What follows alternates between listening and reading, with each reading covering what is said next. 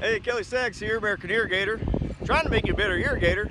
Today I'm going to show you when I'm putting valve boxes over the valves. A little bit of something that I do. I think it's a good tip and maybe uh, give you another way, another idea how to do it. Let me show you something. Well, we're over here, got to the point where we've got our valves in, we've got our pipes coming out, running to our heads and everything. So now we're to the point we're gonna put our valve boxes on top of these uh, valves. And so one of the things that I like to do uh, for several different reasons and I started doing was we've got it, all this right here is actually pretty deep and it's deeper than one valve box. So if I put one valve box over this valve, it's gonna be too deep. Now one of the ways that we used to do it and I've seen guys do it is you just fill it full of dirt and put the valve there, valve box over it so it's level. But it fills too much dirt around the valve. You can see it in there.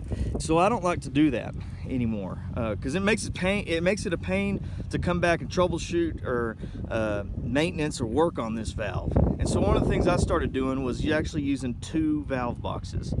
Another way you could do it is put valve box and put an extension over it. But let me just tell you why I like to use two valve boxes. One of the things is, is because I can put this first valve box down all the way down and I cut out where the, you know, the thing where the pipe can go all the way through. So no part of the valve box is touching the pipe, which is good. You, you don't you want that because the guys mowing the yard are going to come run over this and you don't want any of the valve box on the pipe because it has a potential of cracking it, kinking it, and messing it up.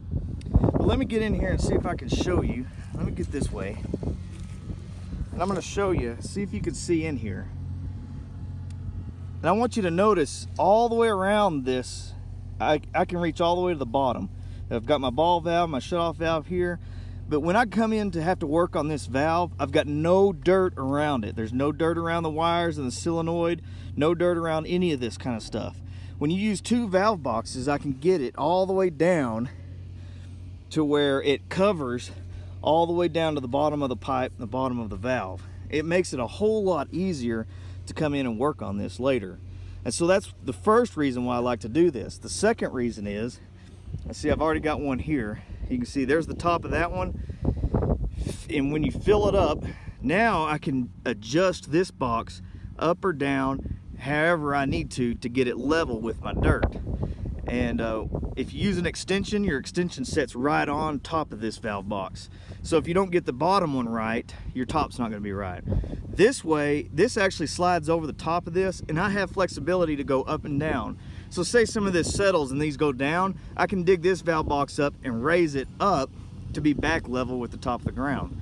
So there's two reasons why I like to use two valve boxes when covering up these valves. And uh, one is to keep all the dirt out from around the valve itself and then two give me some flexibility to make sure the top is even with the top where the grass is going to be.